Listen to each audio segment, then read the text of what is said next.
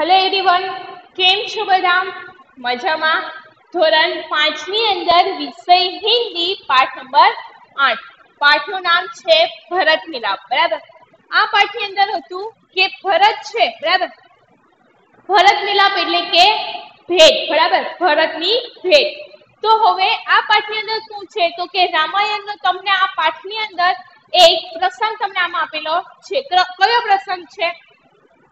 તો કે જ્યારે રામ ભગવાન છે, બરાબર? એ ચૌદ વર્ષની જ્યારે વનવાસ માટે જાય છે, બરાબર? ત્યારનો પ્રસંગ તમને આમાં એક આપેલો છે કે દશરથ રાજા છે, બરાબર? એ પોતાના પુત્ર રામ છે, તેને ચૌદ વર્ષની વનવાસ માટે મોકલે છે, બરાબર? અને રામ, સીતા અને લક્ષ્મણ છે, એ ત્રણે ત્રણ વનવાસ માટે નીકળી જાય છે, બરાબર? ત્યારે એ લોકો જ્યારે વનવાસમાં ગયા હતા અને તે દિવસની આ વાત કરે છે કે એક દિવસ પોતાની ઝૂંપડીની બહાર બેઠા હતા, ત્યારે રામ છે એને કોઈ અવાજ આવે છે. ત્યારે લક્ષ્મણને કહે છે કે, ભાઈ, જો તો કોણ આવી રહ્યું છે? કોનો અવાજ આવે છે? ત્યારે લક્ષ્મણ છે કહે છે કે, આ તો ભરત આવી રહ્યો છે. અને ભરત છે એક નગરજનો સાથે આવી રહ્યો છે અને કદાચ આપણે ઉપર તે લડાઈ કરવા માટે આવી રહ્યો છે, એટલે કે આપણે સલામત થઈ જવું જોઈએ. બરાબર? લક્ષ્મણ છે એવી વાત રામને કરે છે, ત્યારે રામ છે કે છે કે ભાઈ લક્ષ્મણ, તું હજી એટલા વર્ષો સુધી તું ભરતની સાથે રહે છે, પણ તું હજી ભરતને ઓળખી નથી શક્યો. બરાબર? એવી વાત કરે છે અને પછી ત્યારે કે છે લક્ષ્મણ કે આ એ જ એ જ માનો પુત્ર છે કે જેના કારણે આપણે વનવાસ માટે અહીંયા આવ્યા છે. બરાબર? ત્યારે ભરત છે એ રામ પાસે આવે છે અને ભરત છે એ તરત જ રામને જોઈને જે રામ છે, બરાબર? રામના પગમાં પડી જાય છે, એટલે કે રામના ચરણોમાં પડી જાય છે અને રડે છે, દુખી થઈ જાય છે, કે આને ક્ષમા યાચના કહે છે, ક્ષમા માંગે છે રામ પાસે ભરત કે આમાં તમારા વનવાસ માટે મારો કોઈ વાક નથી, કે મારો આમાં કોઈ હાથ નથી, બરાબર? ત્યારે રામ છે, એ રામ અને ભરત છે, એ બંને ભેટે છે ગલે લગાવે છે, અને પછી એ બંને છે, વાત કરે છે, અને ભરત છે, એ કે છે. અને નગરજનના લોકો પણ કહે છે કે હવે રામ તમારે અમારી સાથે જવું પડશે. અને તમારા ન હોવાને કારણે આખી પ્રજા છે, બધા નગરજનો છે એ ખૂબ જ દુઃખી છે. ત્યારે ભરત છે પણ કહે છે કે, રામ, તમે અમારી સાથે હવે ચાલો. અને હું તમને અહીંયા લઈ જવા માટે જ આવ્યો છું. બરાબર? ત્યારે રામ છે એ કહે છે કે, હું મારી માતા પિતા છે, એના આજ્ઞાનું પાલન કરવા માટે અહીંયા વનવાસ માટે આવ્યો છું. એટલે કે એના એના મમ્મી પપ્પા છે, બરાબર? રામના જે માતા પિતા છે, એને પોતાના પુત્ર છે, એને વનવાસ માટે મોકલેલા હતા, બરાબર? ત્યારે કે છે રામ કે નહીં, હું મારી મમ્મી મારા માતા પિતા છે, એની આજ્ઞાનું પાલન કર્યા વગર હું ત્યાં આવીશ નહીં, એટલે કે હું મારા ચૌદ વર્ષની વનવાસ પૂરો નહીં કરું, ત્યાં સુધી હું પાછો અયોધ્યા છે, હું આવીશ નહીં. બરાબર? ત્યારે ભરત છે કહે છે કે તમારે સૌથી, તમે અયોધ્યાના રાજા બનવા, તમે જ અયોધ્યાના રાજા છો અને તમારાથી જ નગરજનો છે એ ખુશી છે, બરાબર? એ લોકોને પણ એવું જ કહેવું છે કે તમે અમારા અયોધ્યાના રાજા બનો. ત્યારે ભરત છે, બરાબર? એ જ્યારે વાત કરે છે, ત્યારે રામ ભરતને સમજાવે છે કે હું મારો ચૌદ વર્ષનો ચૌદ વર્ષનો વનવાસ પૂરો કરીશ. એના પછી જ હું અયોધ્યા આવીશ, બરાબર? અને એ વાત કરે છે, અને નગરજનો છે, અને ભરત છે, એને રામ સમજાવે છે કે જ્યાં સુધી હું હું જ્યાં સુધી અયોધ્યા પાછળ ન આવું, મારો ચૌદ વર્ષનો વનવાસ પૂરો કરીને ત્યાં સુધી તમે મારા ભાઈ ભરતને તમારા રાજા માનો અને એ મારો આદેશ છે, એ મારો હુકમ છે કે તમે હું જ્યાં સુધી વનવાસ પૂરો કરીને ન ત્યાં સુધી તમે ભરતને રાજા માનો અને તમારા સુખ દુઃખનું ધ્યાન છે, એ મારો ભાઈ ભરત રાખશે. આવી વાત કરે છે રામ અત્યારે ત્યારે ભરત છે કે છે કે નહીં, તમે જ છે, એ અયોધ્યાના રાજા બનવા માટે યોગ્ય છો, બરાબર? એ બંને વાતચીત કરે છે અને પછી રામ છે, કે છે કે હું જ્યાં સુધી ન, ત્યાં સુધી તમે રાજા બનો, બરાબર? અને એ બંને વાત કરે છે ત્યારે ભરત છે, કે છે કે હા, ભાઈ, હું તમારી વાત માનીશ, બરાબર? પણ તમારે પણ એક મારી વિનંતી છે, એ તમારે સાંભળવી પડશે. ત્યારે રામ કહે છે કે હા, બોલ, શું વિનંતી છે? ત્યારે રામ છે ભરત છે, રામને કહે છે કે તમારા પગના છે ચપ્પલ છે, જે પગરખા છે, પાદુકા છે એ તમે મને આપો, બરાબર? ત્યારે રામ છે, એ કે છે કે, ભાઈ, તને આ તને આ મારા પગરખાનું શું કરવું છે? ત્યારે ભરત છે, એ કે છે કે, તમે જ્યાં સુધી વનવાસ પૂરો કરીને ન આવો, ત્યાં સુધી જે અયોધ્યાનું રાજગાદી છે, જે સિંહાસન છે, એના ઉપર તમારા પાદુકા રાખી અને તમે એક રાજા છો અને હું તમારા સેવક તરીકે આખા દરબારના કામકાજ કરીશ. બરાબર? એવી વાત સાંભળી અને રામ, લક્ષ્મણ અને સીતા અને નગરજનો છે એ ખૂબ જ ગદગદ થઈ જાય છે. ત્યાંની ખૂબ જ ખૂબ જ આનંદિત થઈ જાય છે, બરાબર? અને રામ છે એ પોતાના પાદુકા, પોતાના પગરખા છે એ ભરતને આપે છે. અને ભરત, રામ અને બધા ત્યાંથી, બરાબર? ભરત છે અને રામ છે બંને ગલે લગાવી અને નગરજનો અને ભરત છે પોતાના ઘરે, એટલે કે પોતાની નગરી અયોધ્યામાં છે એ પાછા ફરે છે, બરાબર? આ તમને અહીંયા પાઠ આપેલો છે. હવે આ પાઠના આધારે આપણે સ્વાધ્યાય જોશું. હવે સ્વાધ્યાય પેજ નંબર પચાસ ઉપર આપેલો છે. એમાં પ્રશ્ન નંબર પહેલો. એમાં પેલું આપેલું છે, પ્રશ્ન નંબર પહેલાની અંદર પ્રશ્ન કે ઉત્તર ડી છે. પેલું રામ સીતા લક્ષ્મણ કહા ગયે? રામ સીતા અને લક્ષ્મણ છે એ ક્યાં જાય છે?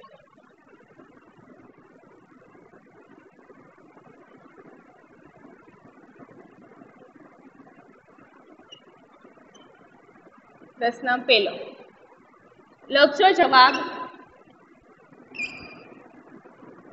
राम सीता और राम सीता और लक्ष्मण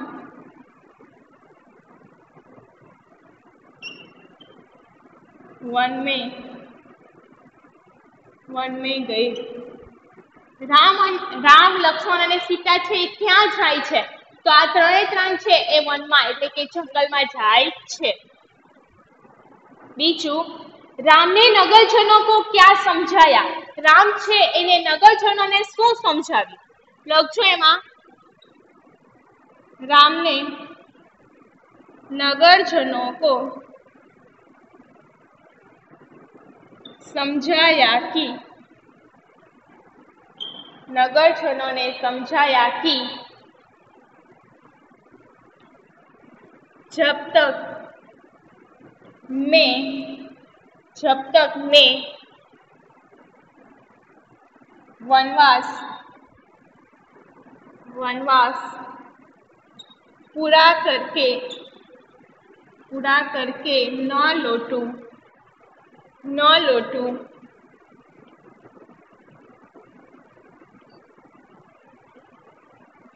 तब तक तब तक भरत भरत आपके भरत आपके सुख दुख का ध्यान रखेगा रखेगा। और आप और आप आप उसे राजा राजा माने यह मेरा आदेश है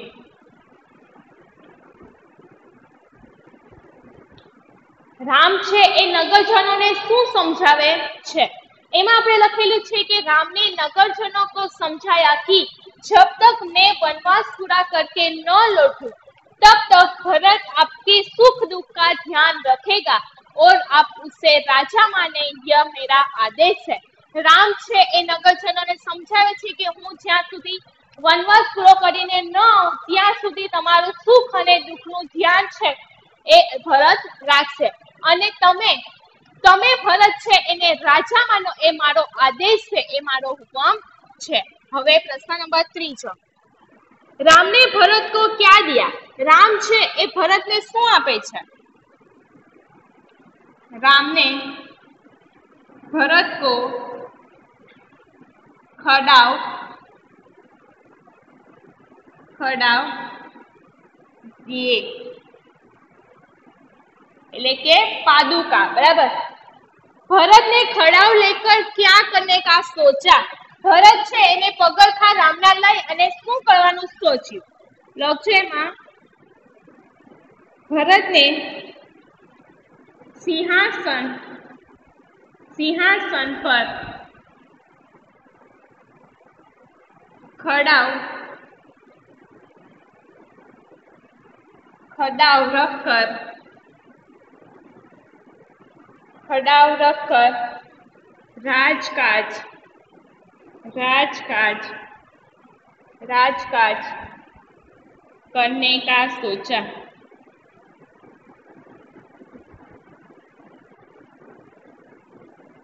ભરત છે, એને શું વિચાર કર્યો? તો એવો વિચાર કરે છે, ભરતને સિંહાસન પર ખડાવ રખ, રાજકાજ કરનાકા કરને કા સોચા? એટલે કે રાજકાજ છે, બરાબર? જે દરબારના કામકાજ છે એ પૂરું કરવા માટે સોચ્યું. બરાબર? એ પાદુકા છે, બરાબર? એ ચપ્પલ છે, એ સિંહાસન ઉપર રાખી અને હું રાજકાજ દરબારના કરીશ એવું ભરત વિચારે છે. હવે એના પછી પાંચમું શું કહે છે? આપ અપને ભાઈ કે સાથ કેસા વર્તાવ કરતે હો? તમે તમારા ભાઈ સાથે કેવું વર્તન કરો છો? લક્ષ્યમાં મેં अपने मैं अपने भाई के साथ मैं अपने भाई के साथ प्यार भरा प्यार भरा बर्ताव करता हूँ તમે તમારા ભાઈ સાથે કેવો વર્તાવ કરો છો કેવું વર્તન કરો છો એ લખવાનું છે બરાબર वर्ताव करता हूँ। बीमारी बीमारी के समय, बीमारी के समय में, मैं भाई की सेवा करता हूँ। मैं भाई की सेवा करता हूँ।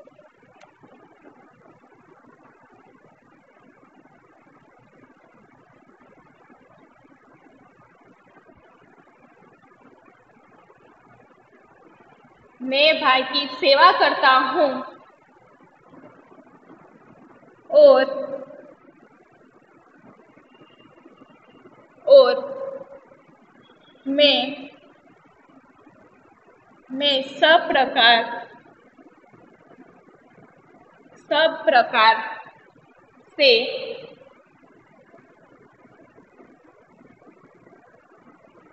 भाई की मदद કરતા હું. હવે તમને શું કહે છે? કે તમે તમારા ભાઈ સાથે કેવું વર્તન કરો છો? અહીંયા આપણે લખેલું છે, મેં અપને ભાઈ કે સાથ પ્યાર ભરા બર્તાવ કરતા હું. બરાબર? શું કહે છે કે હું મારા ભાઈ સાથે પ્રેમપૂર્વક વ્યવહાર કરું છું? એમાં પહેલું લખેલું છે, બીમારી કે સમય મેં ભાઈ કી સેવા કરતા હું. જ્યારે મારો ભાઈ બીમાર હોય ત્યારે હું મારા ભાઈની સેવા કરું છું. ઓર મેં સબ પ્રકાર સે ભાઈ કી મદદ કરતા હું અને બધી જ રીતે હું મારા ભાઈની મદદ કરું છું.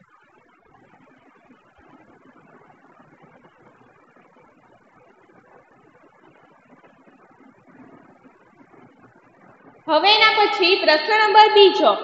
નીચે દે ગયે મેં શ્યામને લગા વાક્ય પૂરા કી છે. પ્રશ્ન બીજો એમાં ખાલી જગ્યા પૂરવાની છે. મેથી અને મે બરાબર? હવે એમાં પેલું રોટી કો દેખ બિલ્લી કે મું ખાલી જગ્યા પાણી આએ તો આમાં આવશે મે બરાબર? એક માત્ર વાળું મે છે, આવશે. ખાલી જગ્યા તું છે, રોટી ન લેના ન લેને જાને દૂંગા તો મેં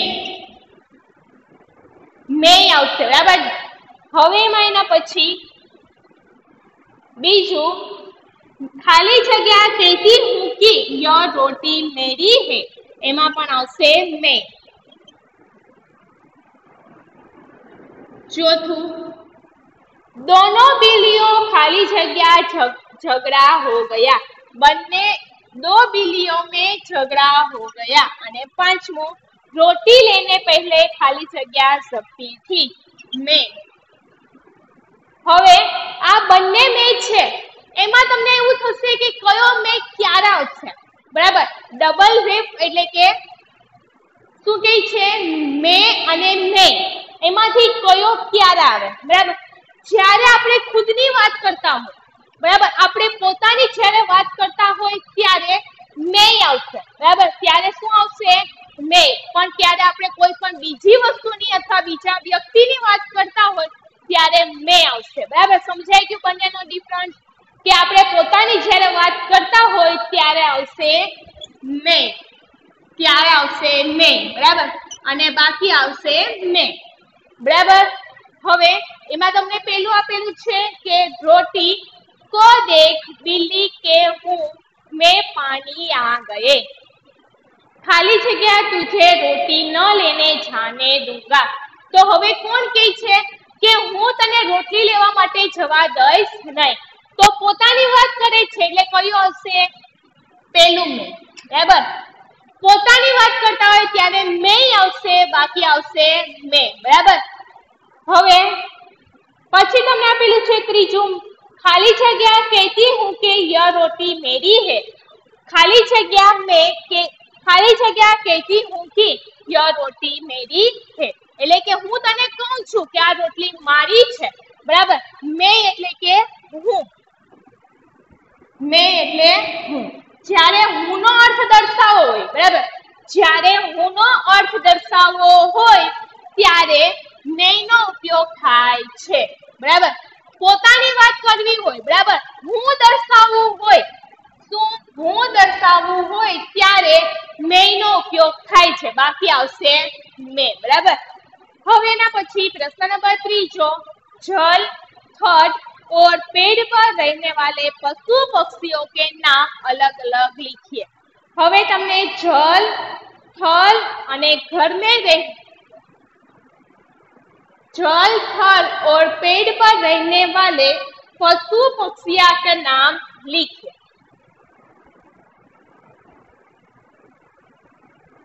હવે તમારે જલ એટલે કે પાણીમાં રહેતા પશુ પક્ષી जल में रहने वाले जल में रहने वाले थल पर રહેને વાલે અને પેડો પર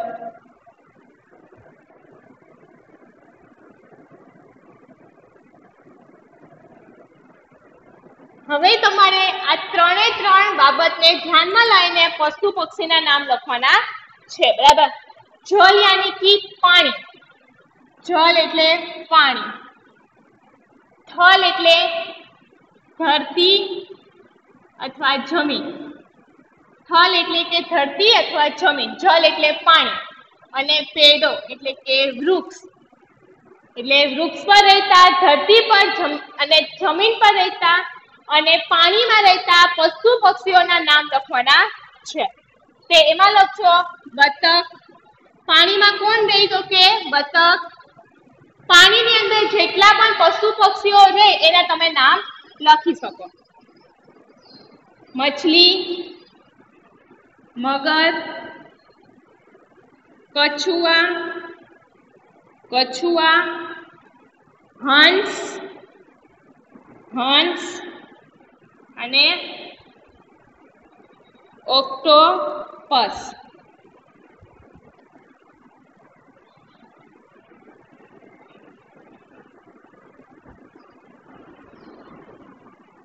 પાણીની અંદર કોણ કોણ રહે તો કે બતક, મછલી, મગર, કછુઆ, હંસ ઓર ઓક્ટોપસ. બરાબર? એના પછી થલ, એટલે કે જમીન અને ધરતી પર રહેતા. તો જેટલા પણ ધરતી ઉપર રહેતા છે, એના તમે નામ લખી શકો. બરાબર? કૂતા, ગધા, ગાય, હાથી ગાય, હાથી ખરગોશ ખરગોશ ભાલુ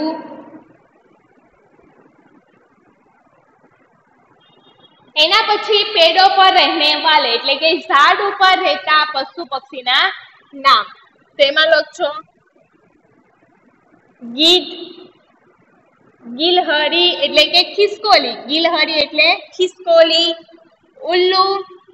એટલે કુવડ બંદર ચીડિયા ચીડિયા કૌવા તમને અહીંયા લખવાનું છે જલ में थड़ पे और पेड़ पर रहने वाले તમારે અહીંયા જાનવરોના નામ લખવાના છે કે જે પાણીમાં રહેતા હોય જમીન ઉપર રહેતા હોય અને વૃક્ષ ઉપર રહેતા હોય તો પાણીની અંદર કોણ કોણ રહે બતક મછલી, મગર, કછુવા, હંસ ઓર ઓક્ટોપસ. હવે જમીન ઉપર અથવા તો ધરતી પર રહેતા કૂતા, ગધા, ગાય, હાથી, ખરગોશ, ભાલુ. બરાબર? હવે વૃક્ષ પર રહેતા જાનવર. ગીધ, ગિલહરી એટલે કે ખિસકોલી, ઉલ્લુ એટલે ઘુવડ, બંદર એટલે વાંદરો ચીડિયા અને કૌવા. બરાબર? એના પછી પાછળ આપેલું છે તમને ભાષા સજાત. ભાષા સજાતની અંદર આપેલું છે અભ્યાસ પેલો અપના નામ લખીએ હવે તમને આપેલું છે ભાષા સજાતની અંદર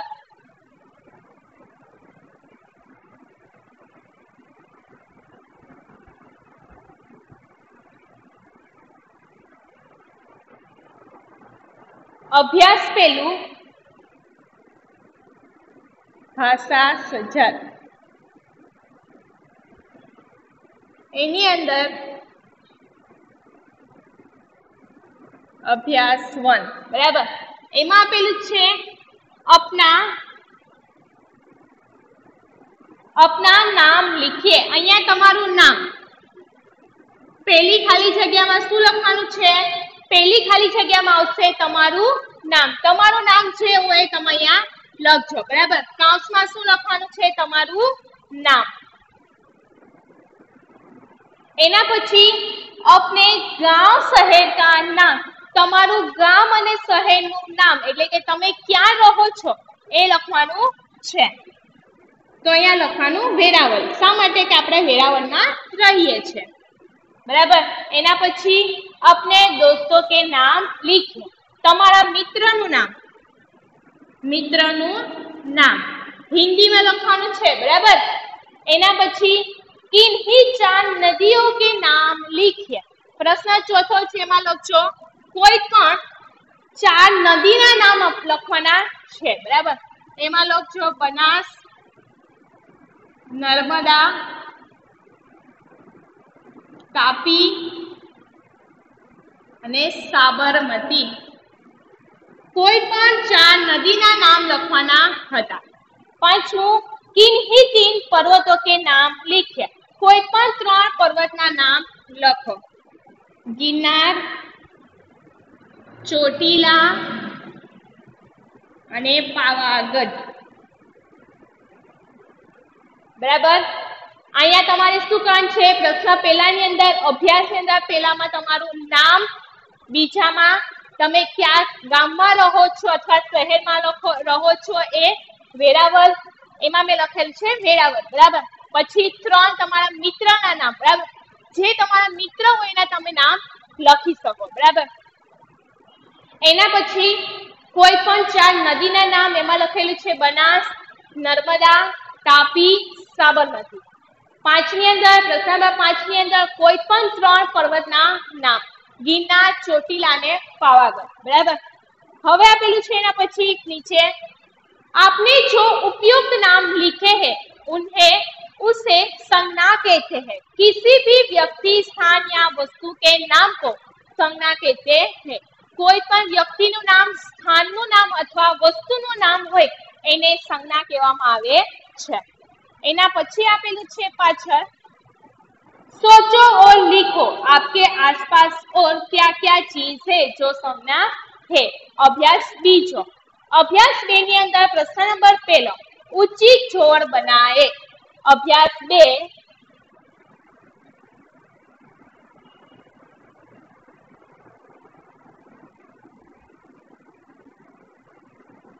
અભ્યાસ બીજું. એમાં આપેલું છે જોડ બનાવવાનું કે છે. અ વિભાગ આપેલો છે અને બ. જોડકા જોડવાના છે, બરાબર? એમાં પેલું આપેલું છે મહેશ, હિમાલય ત્રીજું ગંગા. ચોથું રામાયણ. રામાયણ અને પાંચમું ભારત. બમાં આપેલું છે પુસ્તક. લડકા. લડકા. પર્વત. દેશ. ને નદી. હવે કે છે?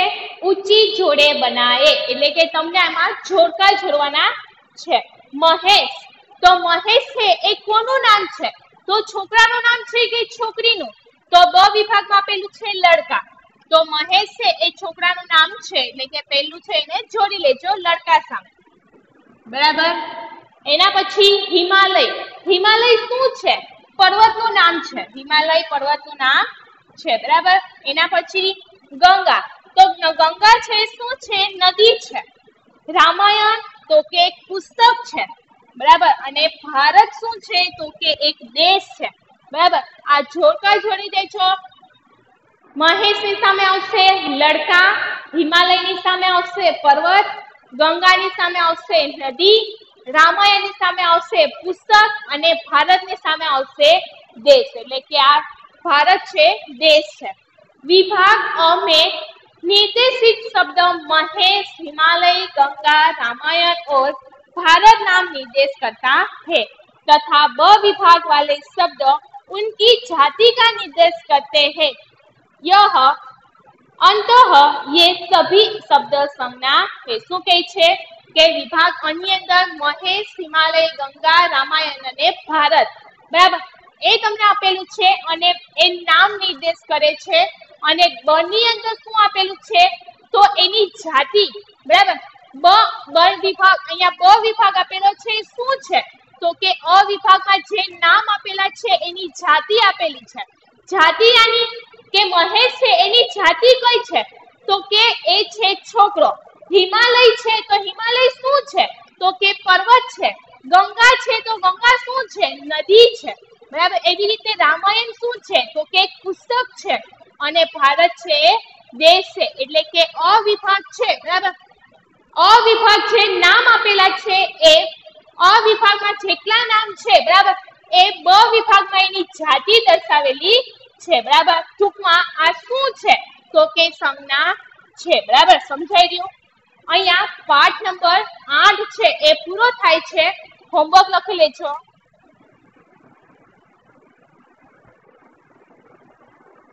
હોમવર્કની અંદર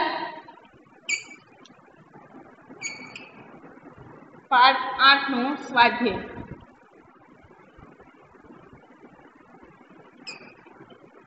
પાઠનું સ્વાધ્યાય છે, બરાબર? એ એક વાર લખવાનું છે, બરાબર? અને પાઠ નંબર આઠ છે અહીંયા પૂરો કરીએ